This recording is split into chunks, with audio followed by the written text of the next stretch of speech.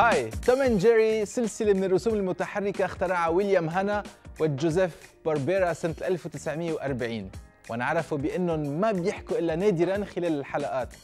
من 1940 لل 2014 تم إنتاج حوالي 164 كرتون من سلسلة توم جيري. يعتبر هالمسلسل من أكثر الرسوم المتحركة يلي حصلت على أكاديمي أووردز. عدة نسخ جربت تقلد توم جيري ولكنها ما نجحت مثل Herman and Katnip. يلي قليل ما حدا يتذكرهم اليوم. Itchy و Scratchy من The Simpsons يلي هن النسخة الساخرة من توم جيري. إلى آخره. مين قال إنه جوزيف باربيرا ويليام هانا اثنيناتهم من أصول لبنانية؟